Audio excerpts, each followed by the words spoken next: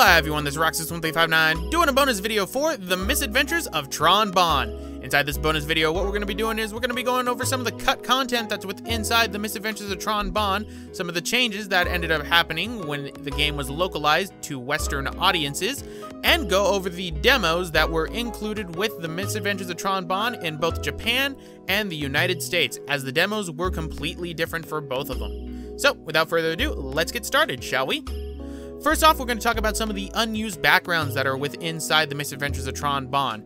The first of which is of the storage room that is on the Gesellschaft, simply with a slightly dimmer light and the contents inside the room being slightly moved, not too much. It's quite obvious that this was cut early on as there's not much of a difference between this image and the final image of the game besides the fact that the light is dimmer. The second area is of possibly a completely unused room within the Gesellschaft. It is of a laundry room. Has four washing machines in the back and possibly would have been used for Tron and Teisel to wash their clothes, or in this case, possibly the Servbots to wash their clothes for them. It's unknown as to why this room was cut out, but in the end, the room was cut out of the game entirely, but can still be found on the disc. The third image is rather interesting. It shows the deck of the Gesellschaft in during what seems to be sunset. Now, there are no changing days within the Misadventures of Tron Bonne, although it is implied that days do end up passing in between the times in which Tron meets with Lex Loathe. This would have been rather interesting, as this indicates that there may have been a day and night system within the Misadventures of Tron Bonne. This is strengthened by another image in the game of Mission 6, as the image for that shows that you go to Promiki Harbor at night as opposed to day. It's unknown as to why they decided to cut out the day and night cycle within the game, if it is true, but in the end, the image was unused as no day and night cycle is present within the Misadventures of Tron Bonne. The final image actually is of two of the same images, and that is known as in front of the shower room. It pretty much shows a bathroom on the Gesellschaft that probably would have been used by both Tron and Teisel, one with the lights on and one with the lights off. The room was cut out entirely from the game, so it is of no consequence, as there's probably no real reason as to why it would have been used, in, given the context of the game. One of the things that was cut from the game is known as the Pocket Station. The Pocket Station is a device that was released within Japan that's similar to that of a Tamagotchi, what it did was it had a small screen on it and would plug into the memory card slot of the PlayStation 1. You could then download or do different things with the Pocket Station depending on the game. Such games that were supported by it were The Misadventures of Tron Bonne, Crash Bandicoot 3 Warped, and the Japanese version of Final Fantasy VIII. Due to the fact that the Pocket Station was never released outside of Japan, the Pocket Station functionality was cut out of the international releases of the game. However, the coding is still available on the game, so you can end up using the Pocket Station if you so desire on English versions of the game by hacking it in with a GameShark code. Now, the Pocket Station functionality for the Misadventures of Tron Bonne is similar to that of the mini games that were within the game already, and that was to increase the stats of your Servbots. Basically, you would download a Servbot onto the Pocket Station and would play small little mini games that could increase its strength, its speed, or its brains, providing an alternate means of increasing brains besides the cubes or bringing them on certain missions or doing the mini games. Due to the Pocket Station being cut out, some items were also cut out that affected some of the Servbots. One in particular were two items, the Beauty Book and the Cannon, which were removed due to being related to the Pocket Station. These items could have been given to Servbot 38, who would give you unique dialogue in order once you gave them to him. Unfortunately, this dialogue was never translated to the United States or into English due to the fact that the Pocket Station was never released outside of Japan. Another Servbot that was changed while being localized over into international versions was Servbot 40. Servbot 40 has the design skill once you give him a designer magazine. However, the sprite of the designer magazine indicates something entirely different. The sprite of the designer magazine is actually of an adult magazine that you would have given to him in the Japanese version. This would have given the Servbot 40 the skill of H, instead of the design skill. As a result, it was implied that the Servbot 40 was considered a pervert. And the reason that he was jumping on your bed was not because he found the colors of the room to be tacky or the fact that he just wants to goof off and have fun, but more that he wants to sniff Miss Tron's odor. It's very obvious as to why this was changed for international versions so as to avoid ESRB and PEGI upscaling the rating possibly to rated teen because of Servbot 40. The final Servbot that was actually cut out entirely of the game I mentioned in the project was Servbot 41. Servbot 41 was obtainable through a promotion by the magazine Dengeki G, in which they would give you a memory card that would contain Servbot 41. Servbot 41 was different in that he had blue head parts and had the bazooka skill. At the same time, he had the highest stats naturally of any Servbot. The only one who comes close is Servbot 27 once you give him the red head parts. He could become your favorite Servbot as well, overriding Servbot 27 with his blue head parts. At the same time, what's odd enough is the fact that Servbot 41 has all of his text actually translated into English, so he was meant to be within the game. However, he was cut out for some unknown reason. Thanks to Mega Man Legends Station, they were able to discover a Game Shark code that allows you to access him into the North American version of the game. Now that we've gone over all the cut content that was with inside the Misadventures of Tron Bonne, we're going to talk about the demos that were released with the game.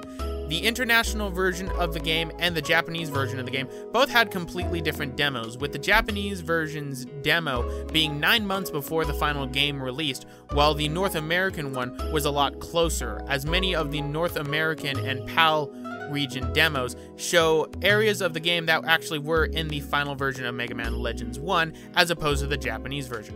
We're going to talk about the international demo first, as it's rather simple to go through that than the Japanese one, which has a plethora of content in it. So first off, inside of the international demo, we have three separate sections that you can choose once you select the game. The first section is of the fight against the Yacht Crab on Manda Island in Pokte Village. During this fight, Mega Man is given a near fully powered up Mega Buster, having a yellow shot charge on it, and he is given the homing missile. He does not have full health, and he has to fight the Yogged Crab. Now, just like how the boss fight is, once you end up defeating the crab, it will fade out before you can see Tron flying out of the robot to a coming soon sign. Nothing else is truly changed with the boss fight besides the fact that instead of having voice clips, the Yogged Crab is entirely silent throughout the entire boss fight. This is during the time in which the voice acting was possibly not entirely done, so they did not include any voiced dialogue from Mega Man, Roll, or Tron within the international demo. The second section has you go to Kimotoma City, in which you have to fight the robe, the giant Reaverbot that is with inside the city. It is implied that the lava flow has already been cut as the Reaverbot has a health bar and you're able to fight him. You're given the Hyper Shell special weapon during the fight, and nothing else is truly changed. Once you defeat the Reaverbot, he drops the key just like how he does in the final cutscene and fades out. And then the demo ends up ending saying coming soon, implying that the Legends 2 was going to be launching soon. The final section of the international demo is of Forbidden Island, in which you're able to play through the entire section of Forbidden Island during that time, you're actually equipped with the machine gun arm, which is not possible of obtaining normally within the game at the beginning, as you're only able to obtain the parts necessary to make the machine gun arm after you've completed Forbidden Island. That takes care of the international demo, so now we're going to talk about the Japanese demo that was included with the Misadventures of Tron Bonne. Inside the demo, there are four sections, each of which are different to each one, and it is simply known as Rockman Dash Episode 1. The first section of the demo has you going through a tutorial section on how to control Mega Man. During this tutorial section, it's rather interesting to note that the city you're on is believed to be a slight demo version and early build of Rumia City, which is on Nino Island. On this little island area with all houses around, you're able to talk to Roll, Barrel, and Data. Barrel, interestingly enough, has his Mega Man Legends 1 model instead of his Mega Man Legends 2 model. Roll, Mega Man, and Data all have their Mega Man Legends 2 model. During this section of the demo, you're going through tutorial areas in which Roll will teach you on how to fire your Mega Man Buster, how to move around, and how to use special weapons. Special weapons being, interestingly enough, in which you're given the homing missile special weapon. However, the reason why this is different is because of the fact that the homing missile is a different color than how it is in the final version of the game. The homing missile is blue, matching Mega Man's armor, similar to how the we special weapons acted with inside of Mega Man Legends 1, implying that they were all supposed to be blue like Mega Man's armor. This was changed at some point to being different colors, as is apparent in the final version of the game. The second section of the demo has you going on Calbania Island with Shu, having to capture her pigs that are running around the island. You're equipped with the Hyper Shell special weapon and are able to go around most of the island. Interestingly enough, the subgate ruins that are on Calbania Island are not available and not seen on the island, but all other Reaverbots are able to be attacked and destroyed. Once you end up catching all the pigs, Shu will end up tricking Mega Man into kissing a pig. The third section of the demo has Mega Man going through a typical ruin style area in which his final boss is going to be an encounter at the first final boss that you fight in the final version of Mega Man Legends. During this time, the ruin backgrounds are of areas that aren't used in the final game as they're early builds of ruins. They're very reminiscent of the tutorial areas that you have to go through within the game. The final section of the Rockman Dash 2 Episode 1 demo is known as Yakuto Krabbe's Assault, which is an alternate version of the Manda Island Assault that Tron ended up committing with the Bonne family during the beginning of Mega Man Legends 2. Now, this one's going to be a little bit different on how I handle this, as I will be playing through Yakuto Krabbe's Assault entirely in another video. I won't be putting commentary over it, and to my best knowledge, I have translated it However, it is not a 100% translation. The reason why it is not a 100% translation is because I was unable to find certain areas and certain translations despite looking for well over a couple of hours. For the most part, I won't say that the translation is 100% accurate, but it is to the best of my abilities, so I apologize if there are many indiscrepancies because it has been a while since I have taken a Japanese class. So, anyway guys, I'm going to end it off right here.